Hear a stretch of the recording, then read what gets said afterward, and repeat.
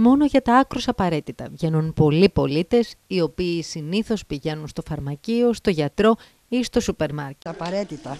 Πάρα πολύ. Διώξαμε γόνια, διώξαμε. Είμαστε μόνοι μας. Βγήκατε δηλαδή για τα ψώνια και πάτε σπίτι. Ναι, ναι, ναι, σπίτι, σπίτι.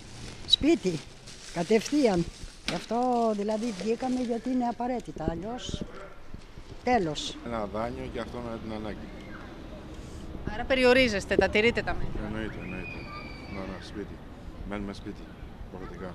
Φοβόμαστε γιατί έχουμε γόνια, έχουμε μικρά παιδάκια. Αν και τους διώξαμε όλους.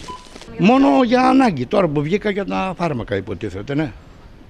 Υπάρχουν άτομα, λέω, τα οποία είναι υψηλού κινδύνου, τα οποία δεν είναι δυνατόν να πηγαίνουν κάθε μήνα δύο φορές στο νοσοκομείο για να γράψουν και για να πάρουν φάρμακα, ταινίες και οτιδήποτε άλλο. Έφτασα να πάω σήμερα π.χ. στο νοσοκομείο και γύρισα άπρακτος. Δεν υπάρχει γιατρός. Τα εξωτερικά ιατρία δεν είναι ε, κανένας εκεί. Ζήτησα να πάω στο, στο διευθυντή, έχει δουλειές. Το, συ- το καταλαβαίνω, το συμμερίζουμε. Όμως και εμείς τι θα κάνουμε.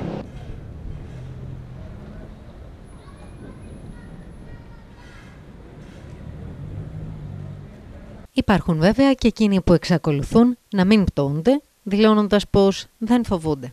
Τις περισσότερες ώρες έξω είμαστε. Γιατί; Γιατί έτσι.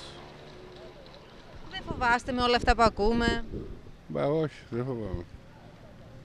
Βλέπω και καπνίζετε και έξω είστε και δεν φοράτε χαντάκια ούτε μασκούλα. Ναι, ναι.